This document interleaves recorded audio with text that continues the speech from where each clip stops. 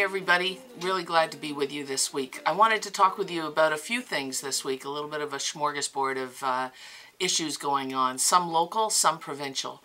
Um, first, uh, I wanted to say congratulations to the people of Toronto, thousands and thousands of you, and I know some Las Perlas uh, subscribers also phoned, emailed, faxed, uh, all of our city councilors. We showed up at City Hall on the on the 17th in mass numbers inside and outside City Hall to protest the uh, impending cuts to programs and services. And the people spoke and the councilors listened. Uh, the media can paint this as the mushy middle or the powerful middle councilors coming, uh, rising up and taking power, but really it was the power of the people that helped to stop some of the worst of the cuts to programs and services that were being suggested and put on the table.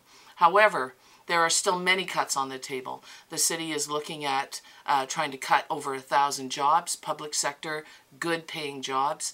Uh, we're still facing cuts to uh, transit service. We're still looking at a fare hike. We're still looking at um, uh, possible loss of the land transfer tax, although it looks like councillors are also uh, starting to stand up to Mayor Ford and his buddies, his right-wing buddies on council. But our work is not done. It's really important for us to stay engaged on these issues, to understand that uh, we're going to have to repeat this fight, unfortunately, next year and the year after as long as this mayor is in office. And so it's really important for us all to stay on top of what's happening at City Council and to keep in touch with our local councillor and the mayor to let him know that, um, that we do not want cuts and in fact what we need in this city are increases to our programs and services. Uh, at times when things are really hard, when corporations in this country are cutting hundreds of jobs right, left and center, we've just had an announcement from Sears Canada, 400 jobs lost. Enbridge, uh, or Direct Energy, sorry, 500 jobs lost. These are all in the GTA. Uh, this means that people are suffering.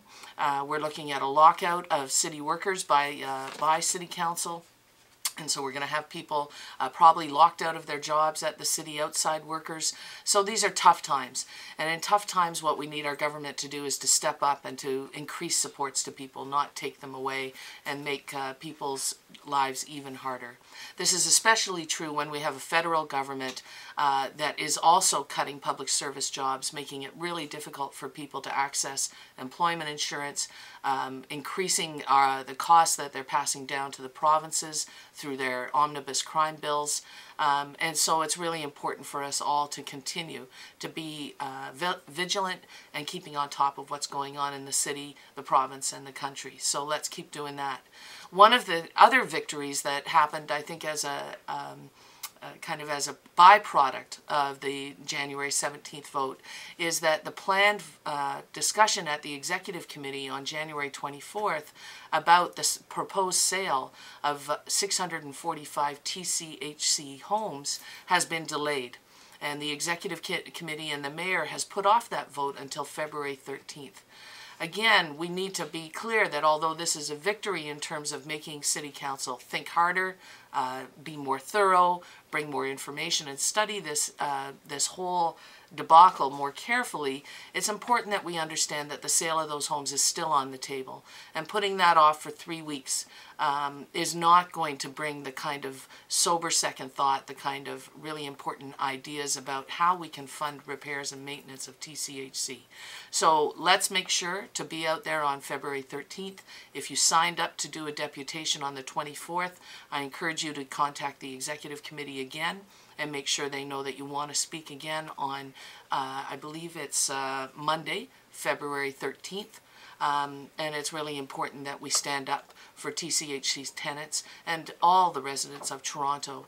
Uh, again, we need to remember when city councils take actions to arbitrarily kick people out of their homes, uh, uh, people with subsidized incomes, people who are considered to be not an important demographic of this city, that means that they uh, will take that power in other ways and they can very easily uh, bring down um, those kinds of uh, actions against other tenants who live in City of Toronto buildings, uh, other people uh, who are tenants in the city. So let's make sure to stay on top of that.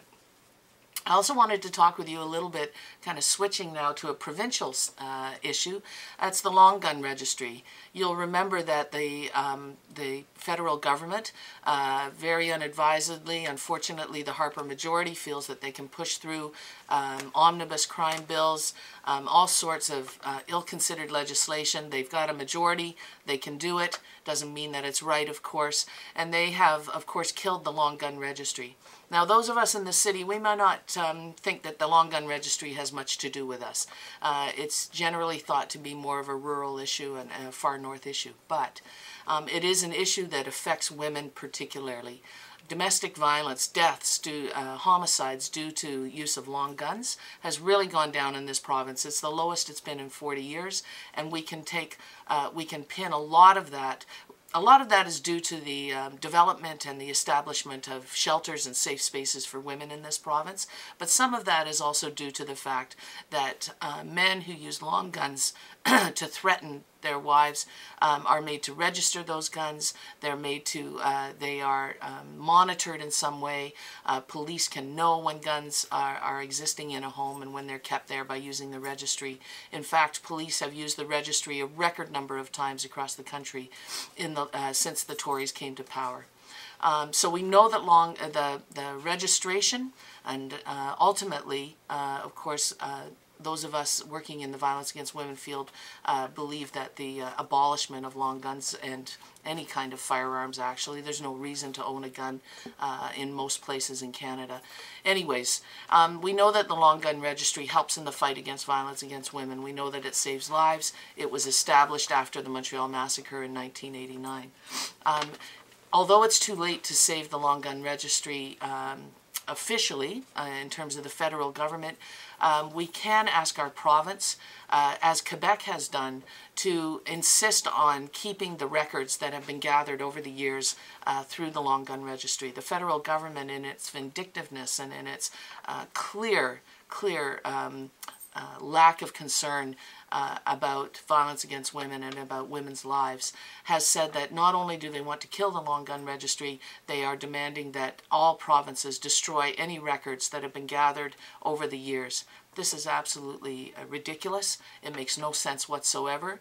Um, and we need the province to stand up to the federal government and to say to Prime Minister Harper uh, that they will not, that they will refuse uh, to destroy those records. Um, one way we can do this right now, and it's an important time to do this, it's back in the news. Um, Quebec has said clearly that they will um, not support destroying records. Uh, the city of Mississauga has actually passed a, a council motion uh, saying that they um, also uh, do not support the destruction of those records and the city is going to encourage the Premier, Premier McGuinty, uh, to let the, the, federal government know that Ontario will not destroy those records. We could use a motion like this at City Council. That's something to talk to your councillor about. Um, and we can also contact Premier McGuinty uh, right now ourselves and let him know that we expect the, the Premier to stand up for the women of Ontario, to stand up for the people of Ontario, and to insist that we will keep those long gun uh, records, those registry records, that police will continue to have access to those records. So you can contact the Premier in a number of different ways. Email is probably not the best way because uh, the Premier uh, likely will not see emails uh, until long after you send them. But you can tweet if you're on Twitter, and that's at Dalton underscore McGuinty. You can find him on Facebook. He has a Facebook page at Dalton McGuinty. You can phone him at 416 325 1941. And you can fax him at 416 325 9895 and we'll put those contact that contact information up on the website for you. And it's really important to do that today. Let Dalton McGuinty know he needs to hear from women in particular but he also needs to hear from our male allies that uh, we care about the women in rural Ontario and the far north. We care about women's safety. We believe that the long gun registry works.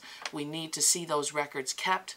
Uh, there's absolutely no good reason uh, to do that. We know that the federal government is uh, in fact violating the rights of women to equal protection under the law when they uh, take this kind of action, and we expect our Premier to stand up for us. So let's make sure to do that this week and let him know how we feel about that. He needs to hear from the people of Ontario no matter where we live.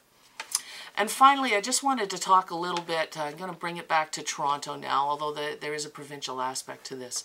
Um, right now, there's an inquest going on into a death of a young man named Junior Manon, I think uh, maybe 18 or 19 year old young man, who died uh, after being pursued by police and um, on a routine traffic stop. Uh, Junior was driving a car. Uh, the police uh, noticed an expired sticker. They stopped the car. For some reason, Junior um, became afraid, um, and witnesses have said uh, that were there said that he looked like he was very scared and he bolted. It's never a good idea when the police stop you to run away. Uh, of course, it's best to uh, stay and uh, deal with whatever it is that they're bringing forward. But in this case, Junior ran away. He was pursued by police. He was tackled by police. The facts are coming out in an inquest that uh, happened uh, is happening right now in Toronto, and uh, police sat on top of him. Uh, Junior was face down, and, uh, and, he died of asphyxiation. He was his lungs were so compressed that he could not uh, breathe, and he passed away. Um, this is is something that should not have happened. An expired license permit, perhaps. Um, uh, probation. Uh, I think uh, Junior was facing a violation of probation, and because of uh, because of this, and because police used excessive force, in my opinion, um, and ended up uh, in this situation where they were sitting on him and he died. Uh, and the official word to the from the SIU is that he died of asphyxiation, positional asphyxiation. But of course, if he hadn't been chased, being chased by police officers and tackled to the ground, the asphyxiation could not have occurred. Uh, quickly, we had another situation last summer in the August where a man named Charlie McGillivary walking to a pizza shop with his mum. Uh, Charlie uh, had um, suffered from a uh, suffered from Charlie had experienced brain damage when he was a youngster due to his, uh, an accident and could not respond when people spoke to him. But he was gentle, he was helpful, he was a real pillar in his community. Um, again, another situation where police roaring up looking for someone who's apparently uh, matched Charlie's description in some way, uh, being large, I think, being a tall man. When they demanded that Charlie stop and talk to them, he couldn't. He didn't respond to anybody because of his brain injury. They tackled him, they swept his feet out from under him, knocked him to the ground, again sat on him, uh, jumped on his back, and again Charlie, who had a pre-existing heart condition, died after that interchange, after that exchange and altercation. It's not even proper to call it an altercation. Charlie was a person like you and me just walking down the street who all of a sudden found himself with officers uh, sitting on top of him and tackling him to the ground. These are unnecessary deaths. There are many more that have happened, way too many more.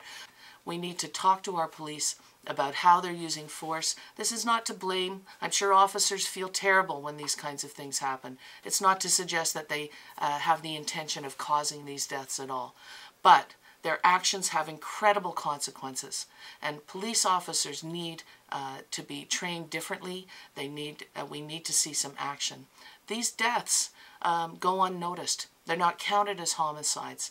Uh, we learn nothing from them. Hopefully from this inquest we'll learn something. But often what happens is police become exonerated, uh, they feel that they've done the right thing, and nothing changes. So we need to get in touch with the police and let them know that we are noticing. And even if they don't want to talk about this in detail, even if they don't, uh, even if the uh, Special Investigations Unit does not find them responsible, we, the people of Toronto, expect better. We expect that people walking down the street or young people who are scared and uh, do the wrong thing when they run into a police officer do not end up dead as a result. It's not necessary. Um, and there are other ways to deal with people, and we know that they are. We're not claiming to be experts on policing. I haven't been in that situation, but I know that many, many people have dealt with kids and with people like Charlie, and they do that with grace, with patience, and with talking and taking their time. You can call Bill Blair at 416-808-8000. You can call the chair of the police board, Alok Mukherjee, at 416-808-8080 and let them know what you think and let them know that you expect them to take action to ensure that nothing like that ever happens again.